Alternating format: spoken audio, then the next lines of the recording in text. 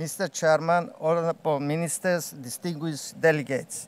First, on behalf of the government of the Republic of Cyprus, let me express our thanks and gratitude to the government of the United Arab Emirates for hosting this plenipotentiary conference in the beautiful city of Dubai and congratulate you, Mr. Chairman, on your election.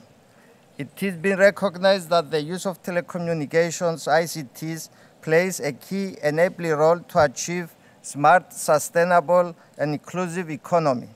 At the same time, ICTs provide new tools with which we can deal with the various social challenges such as climate change, efficient use of energy, the reduction of carbon dioxide, and the aging population. Ladies and gentlemen, broadband accessibility should not be a privilege but a right to every citizen. Concrete steps should be taken to overcome the digital divide by meeting the target of 100% coverage. At the same time, we must create a secure flow of information and operation of networks. The establishment of the National Digital Security Authority this year in Cyprus will serve that purpose. To achieve a truly digital society, we must also promote digital literacy and skills. In this effort, we need to make sure that nobody is left behind.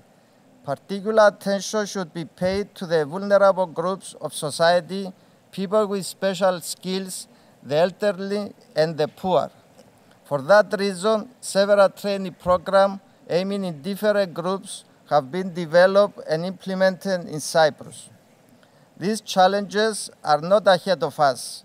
They are with us, and we need to face them urgently.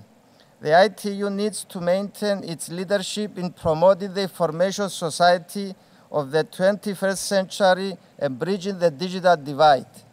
Ladies and gentlemen, the Republic of Cyprus could not remain inactive in this digital revolution.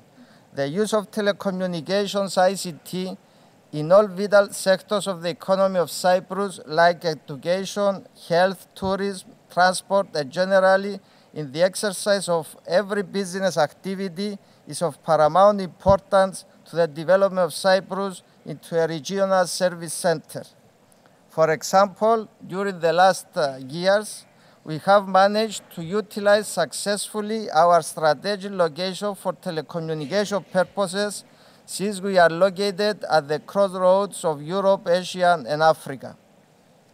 We have developed an excellent satellite and submarine cable infrastructure, which is not only used to connect the island with its neighboring countries and the rest of the world, but also to transfer traffic between countries and continents.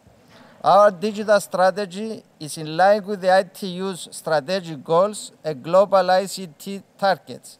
Taking this opportunity, I would like to renew our commitment in working towards the implementation of the Connect 2020 agenda and the achievement of the five key goals that are part of the proposed 2020-2023 ITU strategy plan, namely the goals of growth, inclusiveness, sustainability, innovation, and partnership. In closing, I would like to thank you for giving me the opportunity to address this plenipotentiary conference. Thank you, Mr. Chairman, and thank you all for your attention.